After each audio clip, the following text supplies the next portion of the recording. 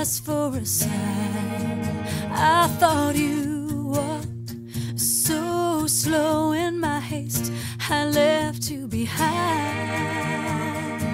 caught in the pace of this madness.